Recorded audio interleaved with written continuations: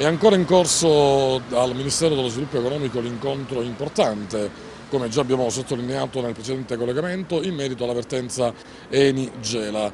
Al tavolo del confronto ci sono i vertici del colosso industriale, c'è eh, ci sono i responsabili del Dicastero, in questo caso del Ministero dello Sviluppo Economico, c'è il sindaco di Gela, Domenico Messinese, il suo vice Simone Siciliano, eh, consiglieri comunali per trattare una vicenda che oramai si trascina dal 6 novembre del 2014.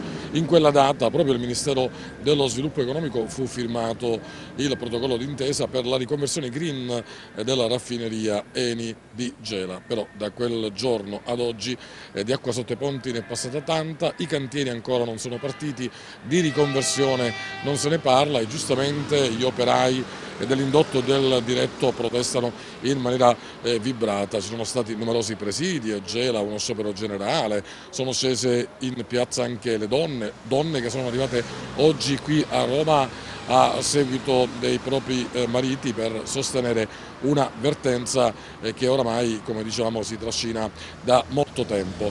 Prima eh, dell'incontro dell di oggi abbiamo raccolto alcune testimonianze, abbiamo sentito i segretari confederali di CGL, CISL e WIL, sentiamo cosa hanno detto ai nostri microfoni. Cosa vi aspettate oggi dall'incontro che potrebbe decidere le sorti di un'intera città?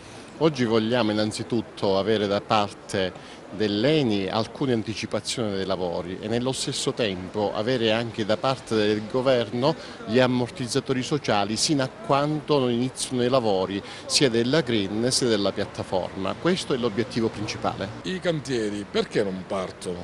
Dal 6 novembre del 2014 ad oggi di acqua sotto i ponti ne è passata e tanta.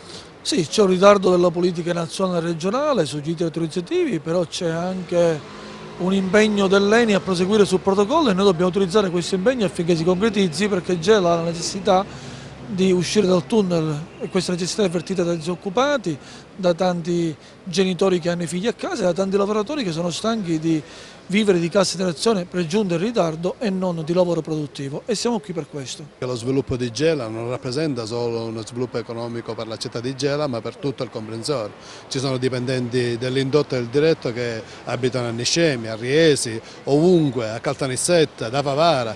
Pertanto trovare la soluzione oggi non significa dare risposta a Gela ma dare risposta almeno a buona parte della Sicilia. Dunque abbiamo sentito i segretari confederali Ignazio Giudice per la CGL, Maurizio Castania per la WIL ed Emanuele Gallo per la CISL. Le sigle sindacali sono compatte eh, in merito alla vertenza Gela. Abbiamo raccolto anche la testimonianza del consigliere eh, Toto Gallo che assieme ad altri colleghi oggi ha raggiunto la capitale ed ascolteremo nel prossimo, nelle prossime interviste anche la dichiarazione di alcuni eh, gelesi che hanno lavorato allo stabilimento, eh, hanno finito la loro esperienza lavorativa ma sono preoccupati per il futuro dei propri figli. Sentiamo. Sarebbe un passo avanti se, se l'ENI insieme al governo dessero delle date certe sull'inizio dei lavori.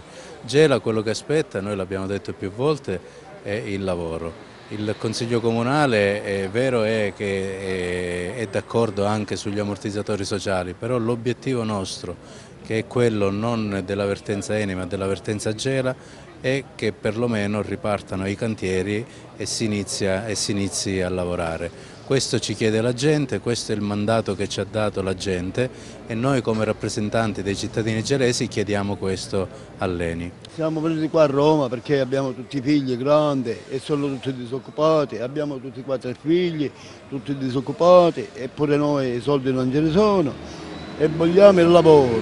Io sono un pensionato, però ho i figli che sono tutti disoccupati e purtroppo manca questo lavoro per tutti. Vorrebbe dire due parole al signor Renzi che si dà una mossa, che si dà una mossa per tutti, per la Sicilia e al signor Crocetta che si danno una mossa per, tut, per tutti noi. E prima dell'incontro abbiamo raccolto anche la testimonianza di un gelese, Carmelo Turco, eh, che si occupa dei rapporti tra l'ENI e il territorio. Sentiamo cosa ha riferito al nostro microfono. Oggi è un incontro per verificare lo stato dell'arte e dell'applicazione del protocollo d'intesa. Faremo delle opportune verifiche, ascolteremo e dopodiché poi valuteremo quello che sono le risultanze. Ovviamente l'auspicio è che si dia un'accelerata definitiva a tutti quei processi autorizzativi che da tempo si aspettano